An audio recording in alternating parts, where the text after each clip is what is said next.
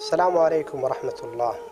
في معلومة منتشرة لدى الكثيرين وهي معلومة خاطئة، هذه المعلومة اللي تقول أن الحامل المرأة إذا كانت حاملا فإن الطلاق لا يقع عليها، وهذا الكلام غير صحيح.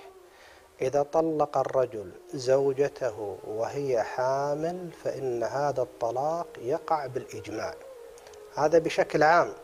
أما الحالات الفردية أو حوادث الأعيان لا هذه تحتاج مراجعة المحكمة حتى يقرر القاضي أو يراجعون الإفتاء حتى يقرروا لهم هل هذا الطلاق وقع ولا كان في حال غضب أو كان هناك موانع من وقوع الطلاق. لكن يجب أن تعلم أن الطلاق على الحامل كما يقولون يقع بالاتفاق.